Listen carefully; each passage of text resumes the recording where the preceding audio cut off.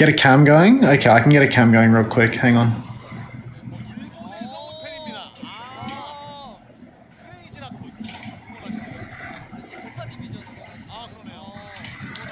There you go. Looks like more just like slow poking in main, but you know, Fielder is like way, way ahead on Nano Boost, and Lip has just gone and fed to proper off spawn. So this is looking like a fucking disaster at this point. Probably going to see the cart roll through to like at least 35 meters or something because the push is just going to keep happening.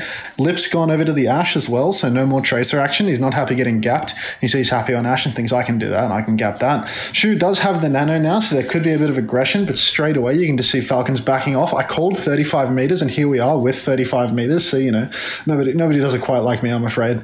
Um, you know, one of the nine viewers witnessing this, I mean, they can they can vouch for it. Junebin has jumped even deeper and just committed suicide. He thought that he was going to get the jump pack damage and get his ult, and he just didn't get the jump pack damage. So that's fucking brilliant, and that's an awesome emote. And again, Lip just you know showing that he's better than happy in every way, getting a free pick onto Chiyo to start off the fight. And yeah, I don't know. German managed to actually not even pull his primal in that fight. Both of these bobs suck. I think the mirrored bobs, it's basically just sit AFK and do nothing. Neither team has to fight.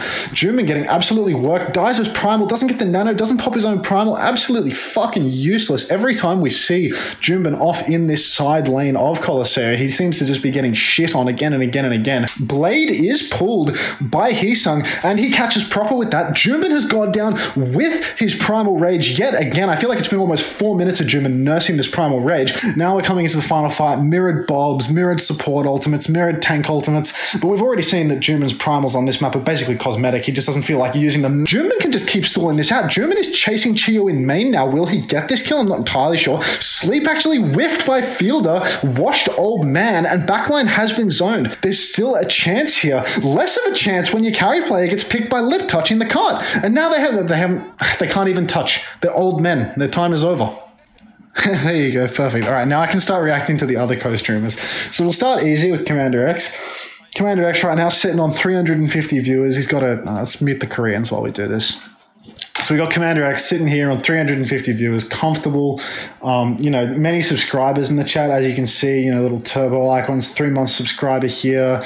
Got another. That's probably the same person. We got a lot of three month subscribers here in the chat. We got RXIS, which I believe is a uh, someone from Bleed, six month subscriber. We've got lots of people here, but he looks to just be full of energy while he co-streams this match. He's really enjoying himself, even though it's just another game of three Overwatch, which is incredibly boring to watch for everyone involved.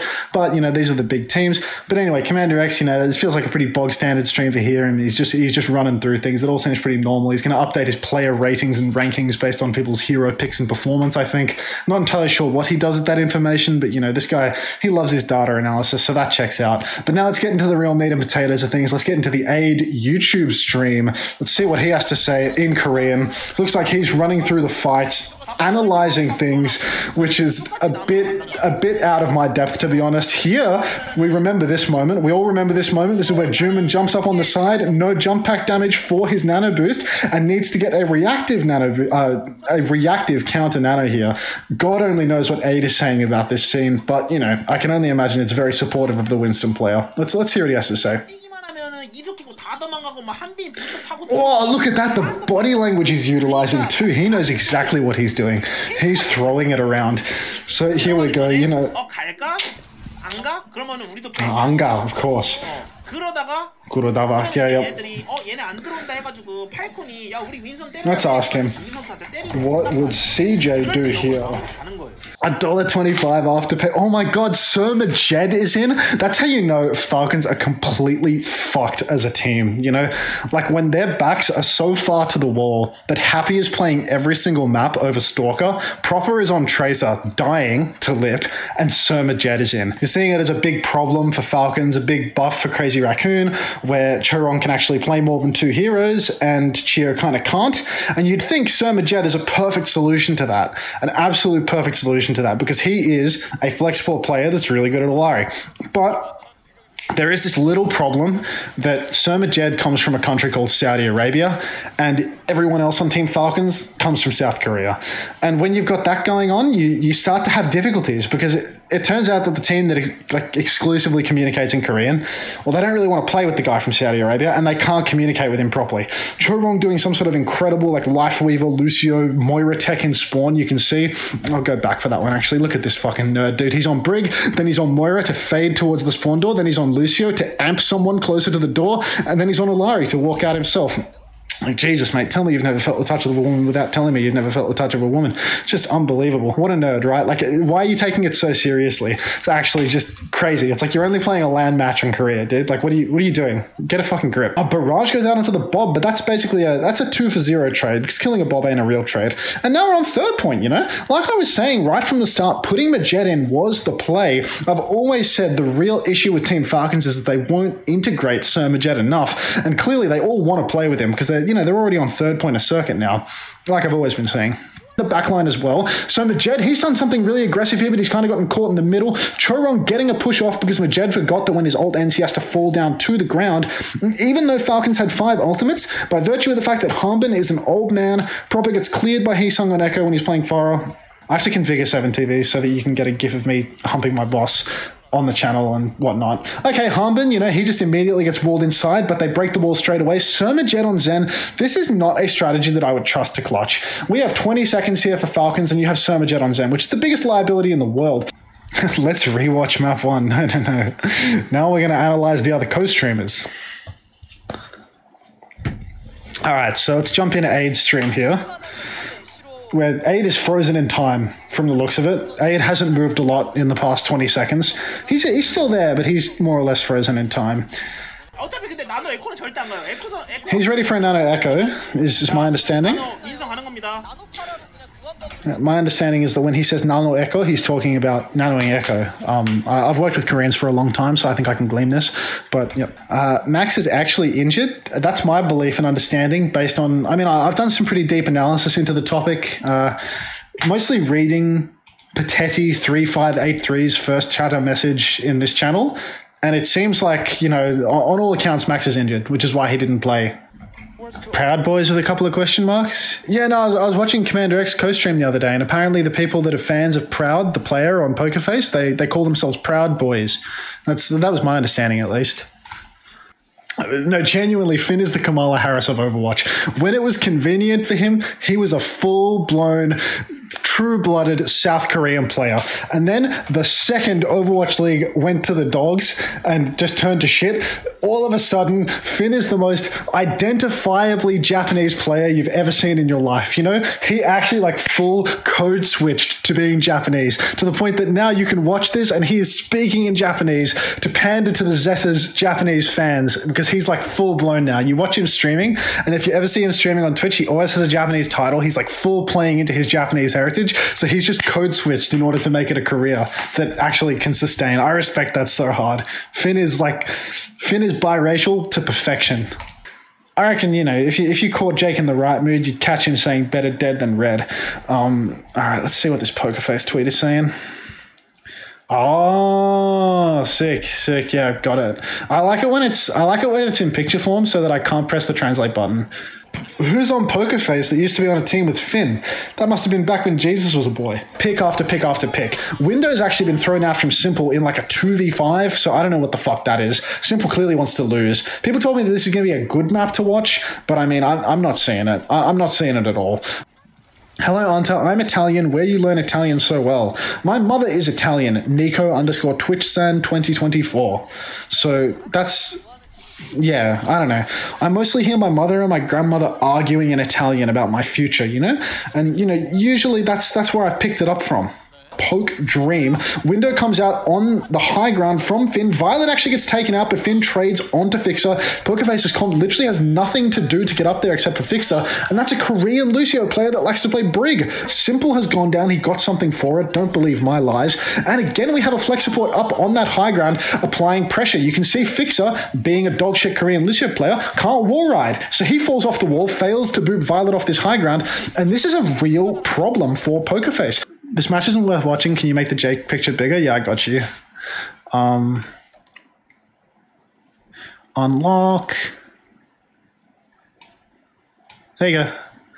Hope it helps. You would clone Jake Lyon so you could have more rich white boys from LA. I would clone Jake Lyon just so that I could kill him twice. You know what I mean? Like, imagine having the privilege of killing Jake and then you can do it again, but you can like VOD review the process and make it worse for him the second time around. Like, that's that's what I'm angling for. But Belos Ria has actually managed to trade two. Even though Zeta Division, they got the first pick, they got the kill on the Zen. Somehow Belos Ria as Wrecking Ball has managed to take almost everybody out. And now you can see him just as uh, I don't know what I'm I really don't know what I'm witnessing here, but if it works, it works. Um, and I mean, Belos Ria did briefly look like he was drunk driving there on the Wrecking Ball, but he is also the one that got all the trades. So, you know, maybe Belos Ria is a drunk driver, but he's not a drunk crasher drunk stream or just a normal stream. I'm having a drink. I'm not getting drunk. There's a difference. Um, there's a difference, you know. One is indicative of a problem, and the other is indicative of a night out. And I'm doing the problem one here. Flats does six ads every five minutes.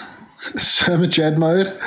Um, yeah, look, I, I, can look into this later. I, am not expecting much ad revenue from the 63 viewers, so you, you, you all can enjoy your fucking three ads per hour.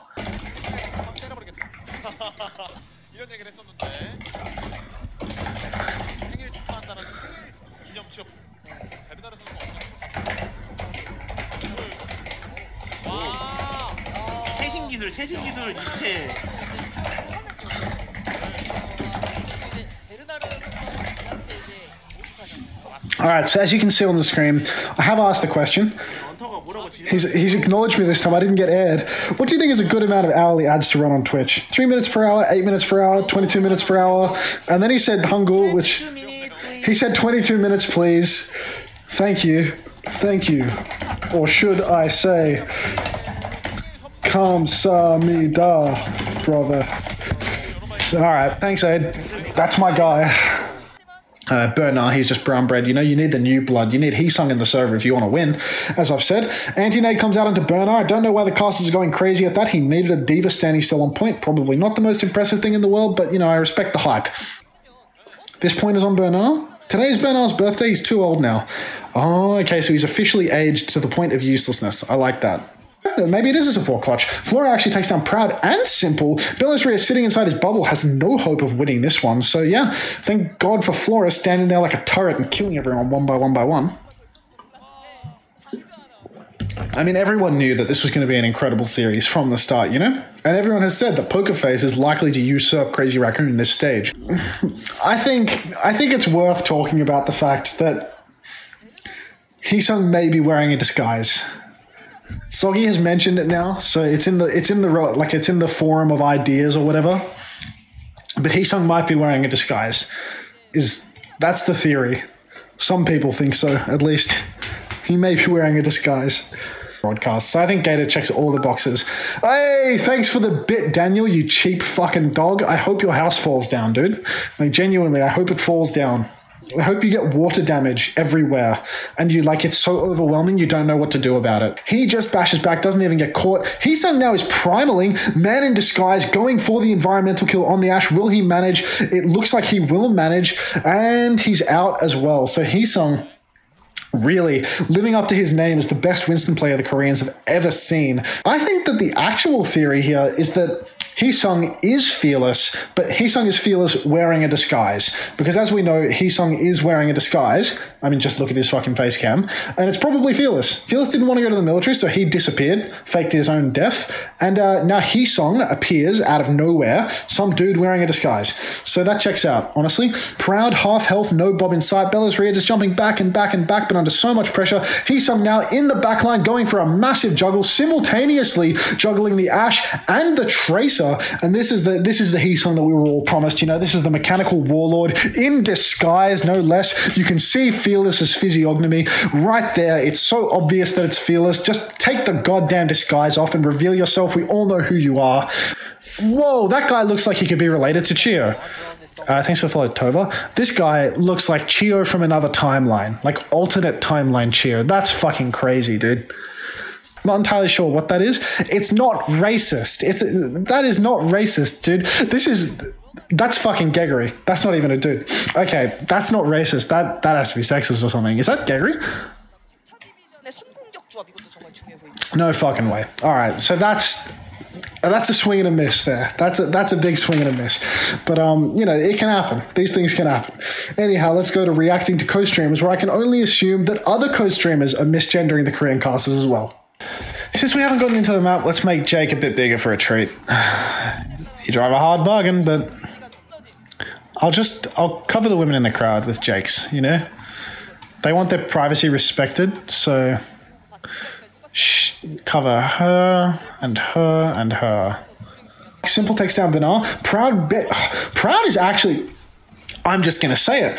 I'm starting to feel like a little bit of a proud boy because the more I watch a proud on the widow, he's just taking over again and again and again, constantly getting the better of Flora in this matchup. Flora, you know, he's probably not the greatest of Widowmaker players. Flora, he's more of an Ash player, and there he is getting the better of Proud. I would never be a Proud boy because that's a disgusting thing to say.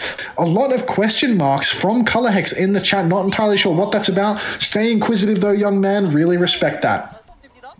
This is some actual goofy shit right now. TP to the other side, flip the map, and Zeta has thrown the game. Like, what is Zeta doing? Oh, you have to touch the cart, Jasmine, you fucking bonobo. Good God. Actually insane. They get the flip, and Jasmine just walks backwards and stands AFK on the wall. He can just put shield up and start dragging the cart back to them, immediately winning the game. And instead, he just jerks off in the open, doing literally nothing, and makes it a hundred times less likely that they're going to win. And now he goes down to, oh my God, get the fuck out of here. Like, there's just no way. All right, here we are. TP onto cart. Perfect. It's like a centimeter in front of cart, and Jasmine puts his shield here and doesn't walk up to touch the cart. If he just started walking up, then the cart would have rolled into the May wall, broken the May wall, all would have happened, you know? All would have just started dragging, dragging, dragging, and then as soon as the cart starts dragging in this direction, admittedly, some of the blame goes to Choice A1, because Choice A1 put the teleporter so far away from the cart that it didn't start rolling it, but still, sad state of affairs. How much for a night with me? I'm celibate. I'm um. No way. No way. oh my god. So on the topic of Jasmine being fucking incapable of touching the cart, Alfie has just triple blinked Mew Mew. Thanks thanks so much for the money. Um, but I'll I'll get on that in a second. But get the fuck out of here. Jasmine just doesn't feel like touching the cart so hard that Mew Mew uh, no, that fucking Alfie just triple blinks onto the cart does this.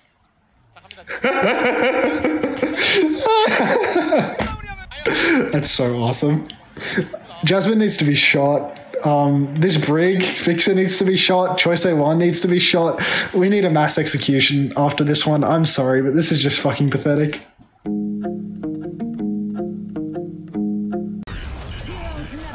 Oh, that's a that's a nut bust. I, had, I was gonna die. Oh, fuck. Oh, I'm such a thrower.